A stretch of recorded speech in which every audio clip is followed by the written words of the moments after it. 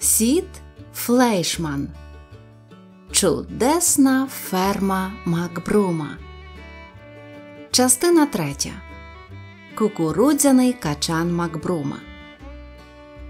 А то якось пронюхала про нашу чудесну одноакрову ферму сарана.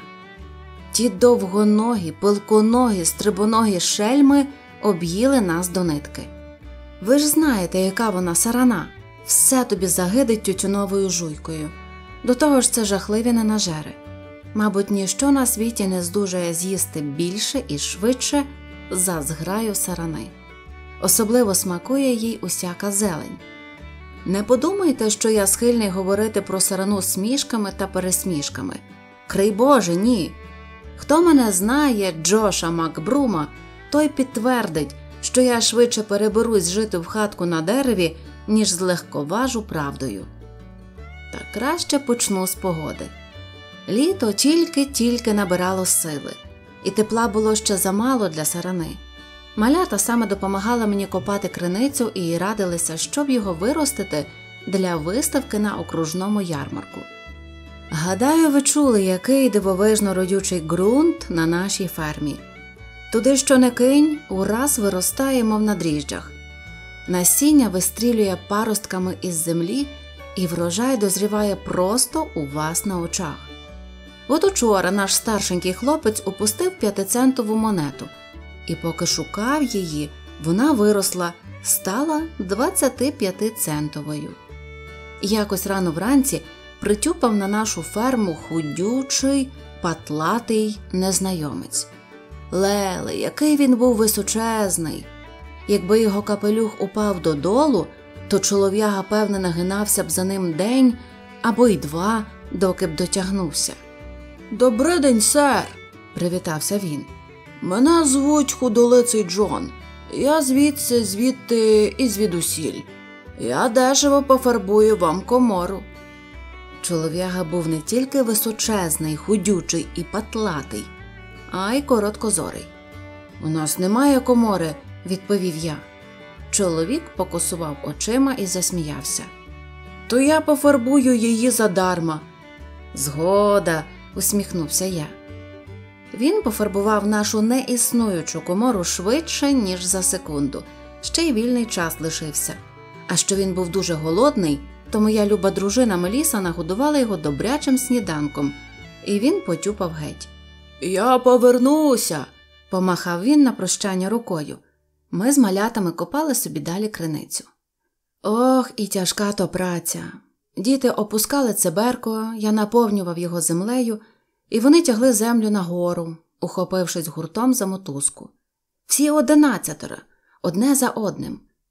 Дні довшали й гарячішали, від сонячного удару мухи падали мертві, але для сарани все одно ще не настало поліття.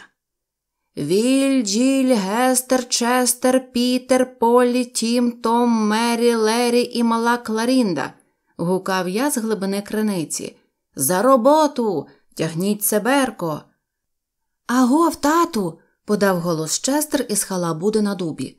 Я вирішив виростити на виставку кавуна, щоб було в ньому 50 фунтів. А я гарбуза, докинула Полі. Ну, вже мені терпець уривається, озвався я. Витягуйте циберко моє ягнятка та висипайте землю. Окружний ярмарок аж за тиждень. Наступного дня було справжнє пекло. О півдні жовті воскові стручки квасолі вже топилися на бадиллі. Вони скапували, наче свічки. Але ні, для сарани то ще не було поліття. Ті довгоногі створіння застудилися б такого холодного дня. Нарешті криницю викопано, і поряд височіє велика купа землі. А десь надвечір знову з'явився той довготелесий, худючий, патлатий і короткозорий чолов'яга. Здоровенькі були, привітався він. Мене звуть худолиций Джон. Я звідси, звідти і звідусіль. Я вам дешево викупаю криницю. У нас є криниця, пояснив я. Ну, то я викопаю її задарма, відповів ходолиций Джон. Він повечеряв у нас і потюпав собі геть. Я повернуся, помахав він на прощання рукою. Минув ще день. Сонце побивало всі свої рекорди. Спека не то слово. Назавтра зранку вшкварила така пекельна жара, що брусок льоду здавався теплим на дотик. Щоб охолодити воду, наша матінка мусила кип'ятити її. Соняшники край дороги висмикували своє коріння з землі і поспішали в затінок дерев. Оце була погода для сарани. Відразу після сніданку з'явилися перші стрибунці. Вони прибували парами і по четверо.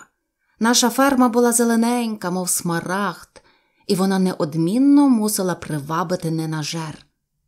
Незабаром вони вже летіли по шестеро і по восьмеро. Треба визнати, що ці перші гості подивували нас своєю чемною поведінкою. Вони не чвиркали тютюновою жуйкою, де попало.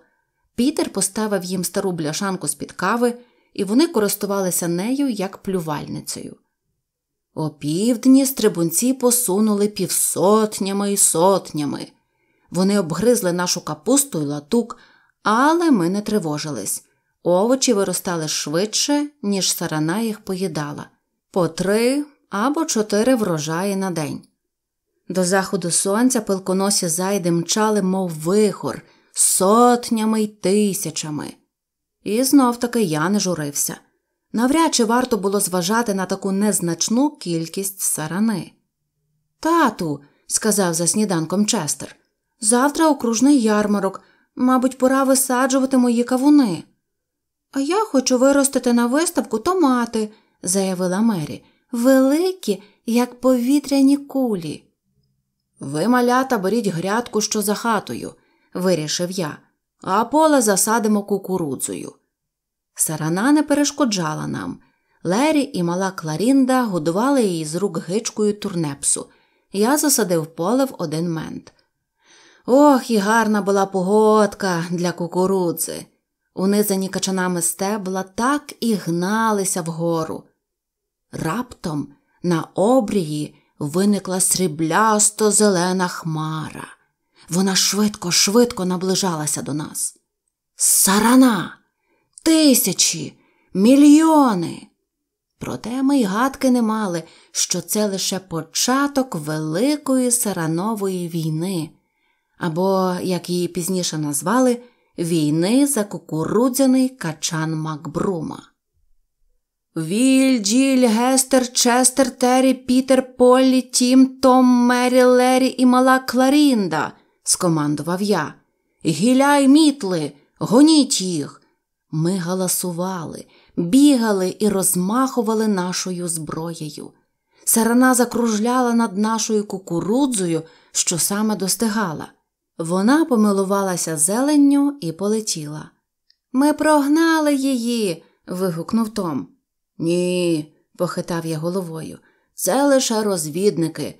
Вони подалися по основну хмару. Ген вона летить. Акри сарани, квадратні милі сарани. Вона мчала на нас із грізним ревом війни. Мітлий гілля. Заволав я. А тим часом голодні бісенята вже затикали під бороди серветки і кидалися вниз в атаку. Ой, рятуйте! Від стрибунців не було продиху, що розмахнувся відром раз, а наберу саране двічі. Все закрила дивовижна імла, що дзищала, стрибала, налітала роями. Ми не бачили власних ніг, але чули ненатлих поганців ми добре. Вони плямкали, пережовуючи нашу кукурудзу, і випльовували осердя качанів. Рівно за чотири секунди врожай був строщений до крихти. Тоді розбишаки знялися в повітря, все ще голодні, як вовки, і стали чекати нового врожаю. Тату, поскаржився Честер, сарана обгризла мої кавуни. Тату. скрикнула Мері. Вони навіть не почекали, доки поспіють мої помідори зеленцем з'їли. Тату, сказала мала Кларінда, що сталося з твоїми шкарпетками? Я глянув униз. От лиха година. Кляті зайди з'їли мої шкарпетки, зелені шкарпетки. Дарма що я був у черевиках, тільки дірки на пальцях зосталися. Дехто з малят заплакав. Ми нічого не виростемо для виставки на окружному ярмарку. Ми ще не подолані, мої ягнятка, заспокоював я дітей, напружено шукаючи порятунку. Ті стрибунці перевершили нас числом, але не вмінням. Я їду в місто по насіння. Краще приберіть об'їдені качани. На нашому старенькому Франкліні з повітряним охолодженням я метнувся до міста і до обіду повернувся з 50 фунтами чудового посівного матеріалу. Сарана й досі висіла в небі, очікуючи поживи. Малята зібрали і поскидали об'їдені качани на купу землі біля криниці. Не гайте й секунди, наказав я, допомагайте розсівати насіння. Незабаром наша ферма завруналася смарагдовою зеленню, от ніби одноакрові джунглі. Стрибунці облизувалися, штовхалися одне перед одного. Вони дзищали, лізли роями, трощили й хрумали. Врожай зник, мов би його злизав буревій торнадо. Але бачили б ви, як вони здивувалися. Перша хвиля стрибунців уся дихала вогнем, і не дивно, вони пообідали пекучим зеленим перцем. Від того обіду вони кинулися, мов ошпарені, шукати водопою. Звичайно, ще лізли тонни сарани. Після полудня ми тільки й робили, що сіяли пекучий перець, доки нарешті пощазали останні стрибунці. Згодом люди казали, що вони налетіли на озеро в сусідній окрузі і випили його на сухо. Одначе сарана могла повернутися. Малечі треба було квапитися, швидше вирощувати свої призові експонати. Тату, дивись. закричала мала Кларінда. Вона показувала на купу землі біля криниці, всіяну обгризаним качанням. Ура! Сарана пропустила одну зернину, і та зернина проросла непомічена у нас за спиною. Стебло уже вибояло завбільшки з дерево. Земля, викидана з криниці, була неймовірно родюча. Корінцям дивного стебла було чим побенкотувати. На наших очах почав в'язатися качан. Чи великий? Та гладкіший за товстопузу піч. І він ріс і ріс. Здається, приз буде наш, заявив я, потираючи руки.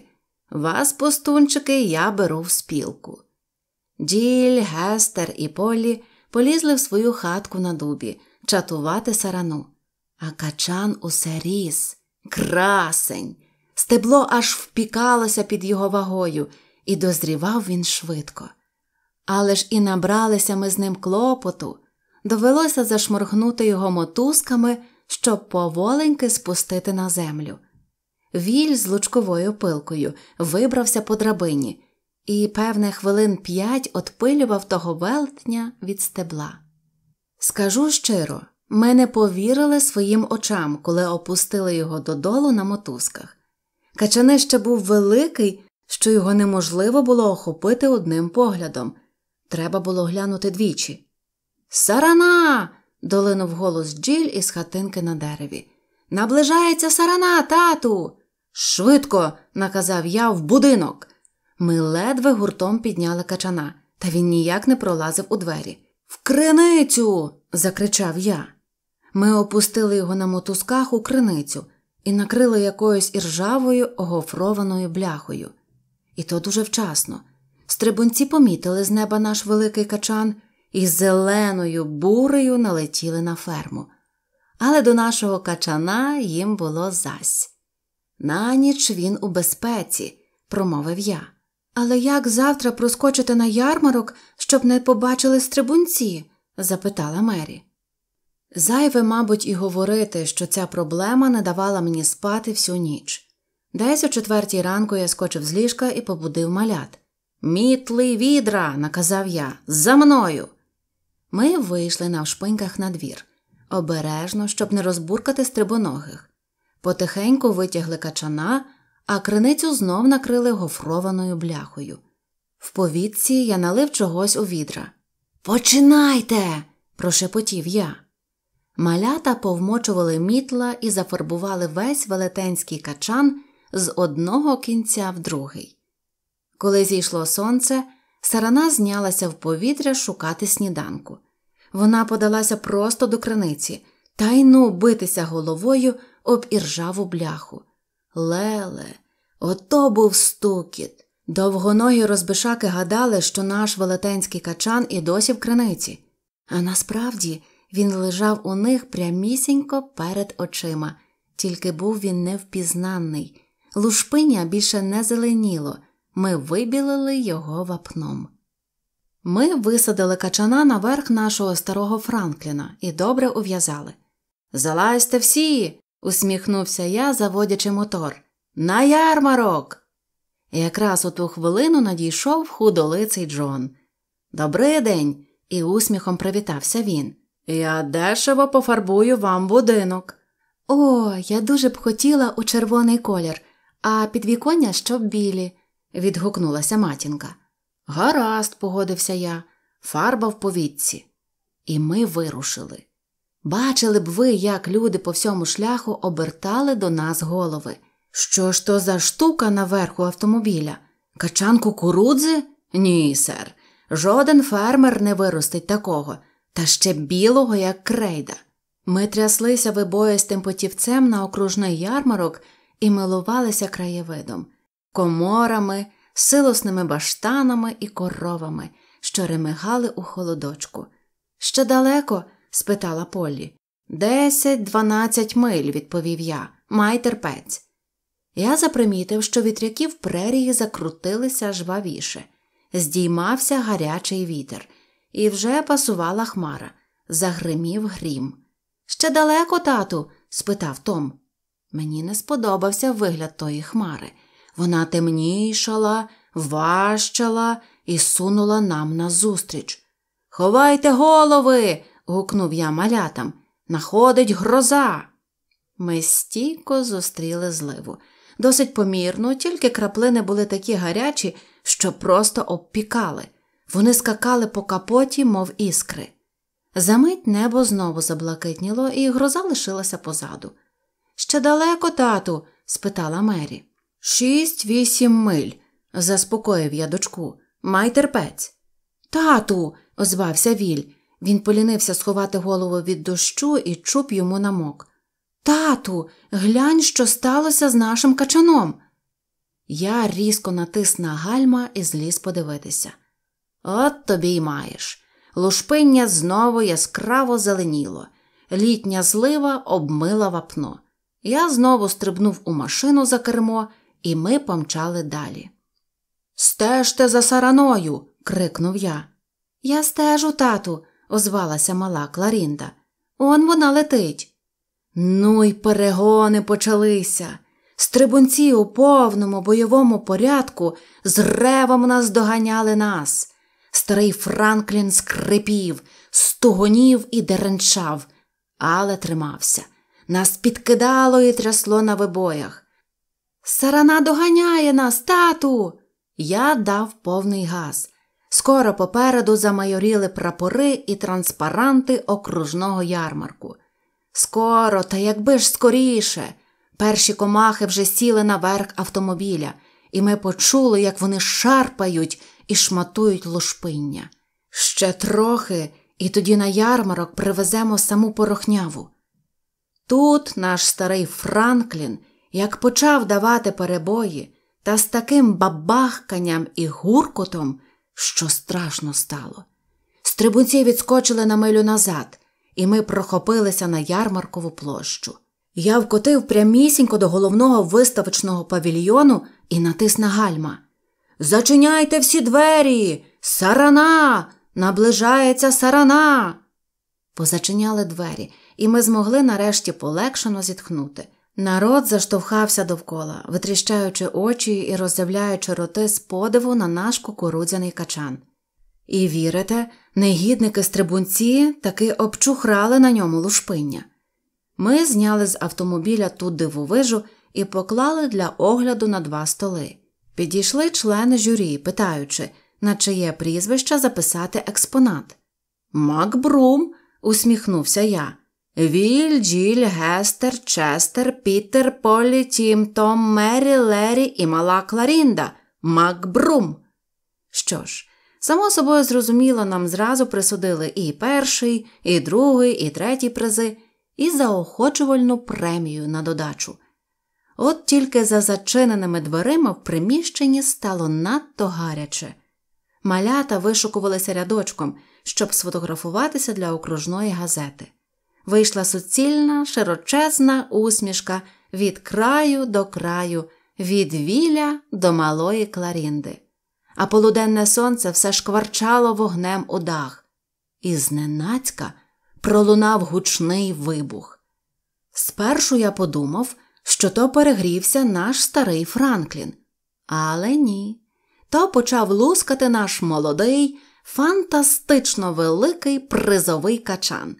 В приміщенні піднялася така пекельна температура, що кукурудза почала лускати, наче у справжній жаровні для приготування пластівців.